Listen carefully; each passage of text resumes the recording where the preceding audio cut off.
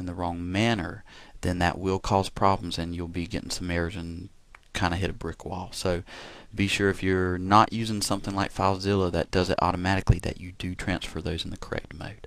Now, we're going to go back to the files transferring and take a look at the progress. Now, I'm old-fashioned and set in my ways, so I extracted the files, edited what I needed to, and then have begun the upload process. You can actually, again, uh, when I started the video, I spoke about the file manager or the legacy file manager in cPanel. You can upload the zip file there and extract it directly to save uh, time from it having to upload all these files individually. But other than that, I'm going to pause for a few seconds. It's going to seem like a few seconds to everyone. And then when I come back, all the files will be done and we'll begin the installation script. So give me just a few seconds.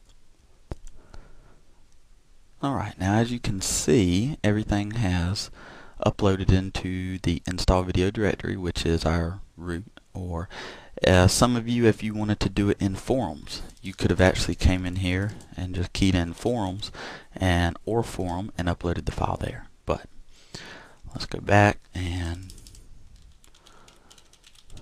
proceed. Now, what I've done is brought up another browser and I'm going to go through the installation script with you. Now if for any reason some of your files didn't upload properly, excuse me, or you forgot a few in the upload process, you may see errors similar to this or something um, with the same amount of uh, information.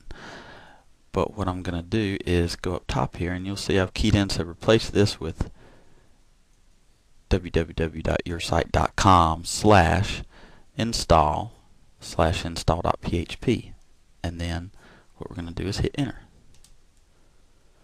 Now this is where you're going to need your vBulletin customer number that we spoke about when we first started the video. So find that information now and go ahead and key that in. And then after you've keyed that in, click on Enter Install System.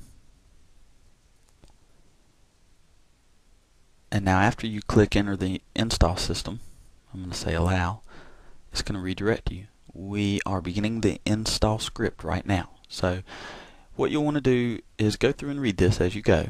Okay, I'm not going to read every single step, but you don't want to click too fast because if something comes up and there's an error or something comes up, you want to be able to copy down the URL up top here because you'll see how that changes.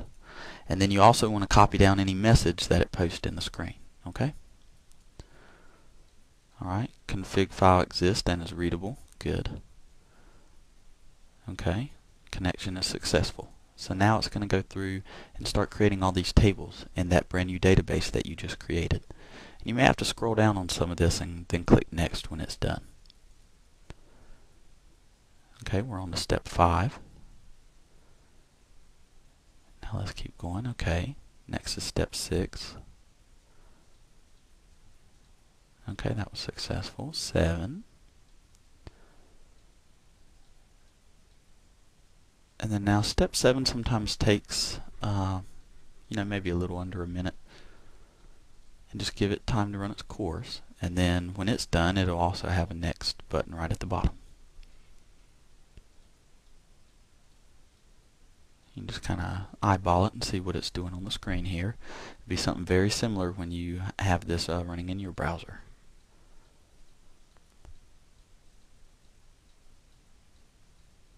Okay, so now we're on to step 8. Okay. Alright, it's got the admin help. Let's go to 9. Now we're just going to leave all this blank, but normally you want to give the title of your site. So let's just say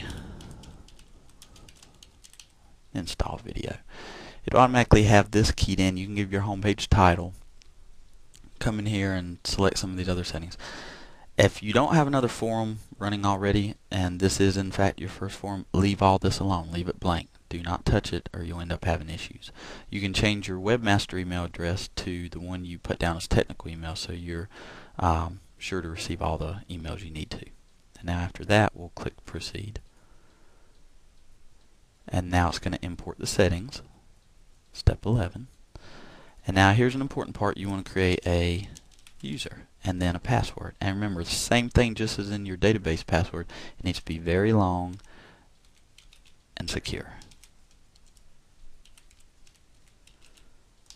Mine is not very long, but it's slightly secure. So then give in, um, give them your email address, or the form rather, give the email address. So same thing you entered under webmaster. So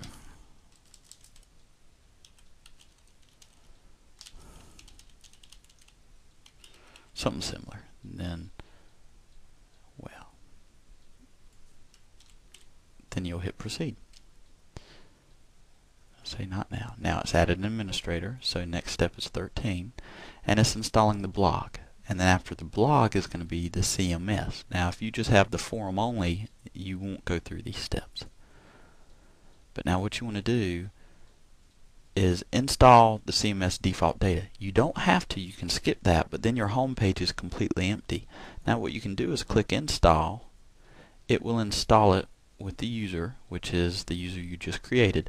And now you can go back in and view your CMS or your home page rather and edit all the different articles that are in there and edit them to your liking and make them have the content you want and it's not doing extra work so it can save you a little bit of time and then the leftover ones just simply delete them so now let's click next, step 15. And now we're pretty much done, but we have to remember to go back into the install folder and delete install.php. So we just want to say delete. minimize that back. And now you can click here and it will let you proceed.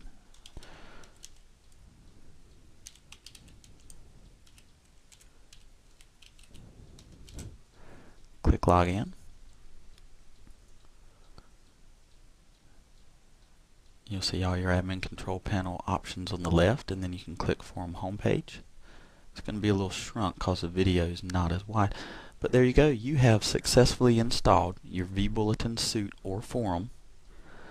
So what we want you to do now is go ahead and go in and customize some of these settings if you need to. If you don't, it's pretty much ready to go. You just give out the URL. Uh, be sure to go through the settings though and make sure the options, all these different options, uh, are turned on or turned off. If you want to enable the Facebook Connect, then you want to come down and click yes and turn that on. So there's still quite a bit for you to learn, but other than that, you've successfully installed your first vBulletin forum. Enjoy it, and any questions, be sure to post at vbulletin.com and also check out the free mods and styles at vbulletin.org. That's it. Have a good one. Bye-bye.